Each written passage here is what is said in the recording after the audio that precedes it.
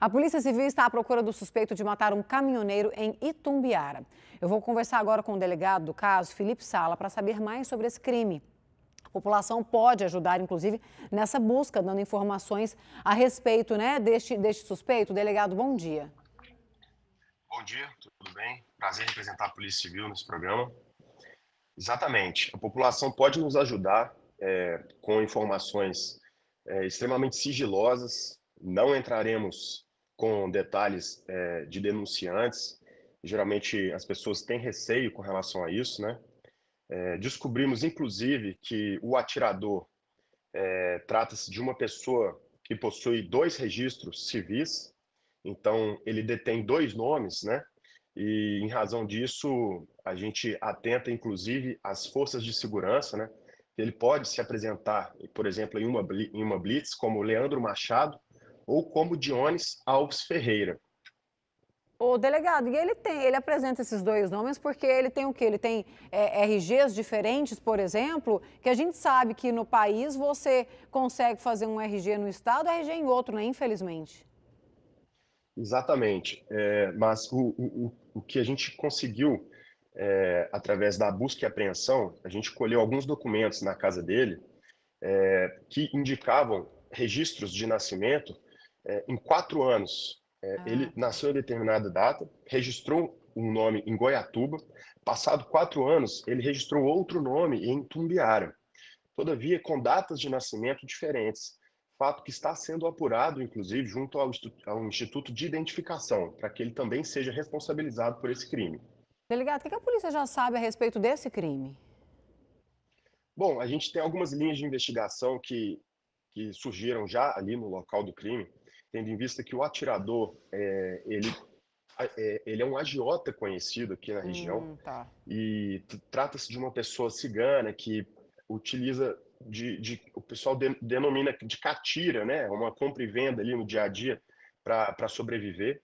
Então, é, a gente suspeita que tenha ocorrido ali uma, uma desavença com relação a algum comércio realizado entre as partes, ou então algum, alguma dívida com relação a valor.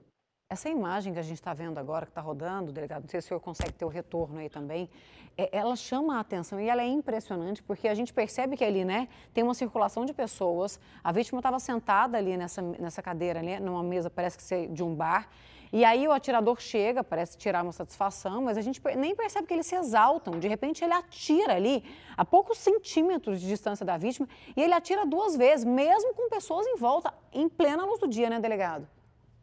Exatamente. É, pela, pela análise das imagens, a gente pode ver que o atirador trata-se de uma pessoa extremamente fria, né? Sim. É, e, e, já possui passagens, inclusive, por porte ilegal de arma de fogo e disparo de arma de fogo. É, ali a gente nota que ele se deslocou até a mesa do, do, da vítima, mesa essa que ficava próxima a que ele se encontrava sentado, troca algumas palavras ali e já desfere dois tiros em sua nuca, não deu nem possibilidade de defesa ao mesmo, né? Trata-se de homicídio qualificado, cuja pena mínima de 12 e máxima de 30 anos. Então, já temos aí um mandado de prisão em aberto e a gente pede aí o auxílio da população para que nos ajude a localizá-lo. Provavelmente ele não está mais na cidade de Tumbiara, né, delegado? Ele deve estar em outra parte do estado, talvez até tenha saído. A gente sabe que também existe essa parceria da Polícia Civil com outros estados também. Mas se esse homem for visto, se você que está nos acompanhando vir este homem em qualquer outro lugar, tá? Não só na cidade de Tumbiara, que ele já deve ter se mandado de lá, né? Tem esses dois nomes é, que ele pode apresentar: Leandro Machado, Dionis Alves, ou pode apresentar até um outro, porque ele pode conseguir agora um documento falso. Você pode entrar, por gentileza, a gente pede, o delegado já abriu aqui essa entrevista garantindo que a sua identidade vai ser mantida em sigilo. A polícia jamais vai colocar alguém da população que colabora com o trabalho da polícia em risco. Então, 197 da Polícia Civil tem também o telefone do GH de Tumbiara, o DDD é 64 3431 8616. Delegado Felipe Sala conversando com a gente aqui ao vivo. Delegado, muito obrigada pela, pela participação. É, a gente sabe que é de extrema importância essa colaboração do trabalho né, é, é, da, de toda a população para que se resulte num bom, num bom trabalho da polícia. A gente espera que ele seja encontrado quanto antes. Desde já, parabéns pelo trabalho de vocês. Eu que agradeço em nome da Polícia Civil. Tenha um bom dia. Bom dia.